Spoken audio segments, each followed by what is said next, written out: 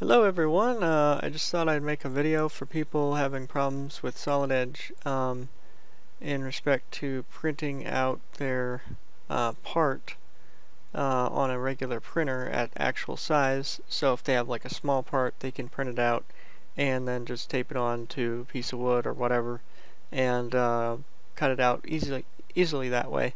So in order to do this, first of all we're going to go to our view and select the view we want to print out. Now, normal piece of paper is 8.5 by 11, so this is uh, going to be within that range. This is 5 inches by 4.312, this particular part here. So, first of all, uh, we don't want to print out this back, uh, this uh, background that's like um, uh, gradient. So we want to, or gradient, however you say it, we want to go to View up here, and we want to click on this View Overrides, and then we want to go to background, click on that. Okay, we want to change uh, gradient to solid edge default, just click OK. Okay, now that'll change it to a white background. And then all we've got to do is go up to here and go to print. And then we go uh, select, it says print range, we just select print area, click OK. And then we're, we've got this like uh, little cursor type thing. We just select what area we want to print out.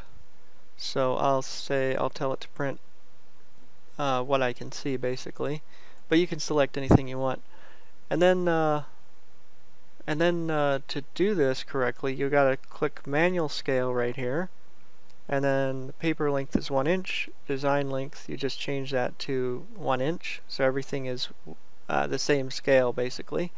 And that's all you have to do. Just click OK. And then your printer uh, will start printing it out at that current size. It's as simple as that. And we'll just wait here. It'll say it's going to connect. There it is. It's printing it out.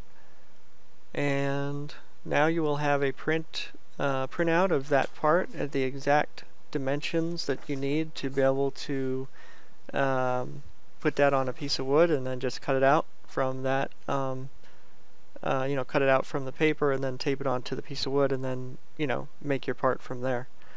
Alright, that's it.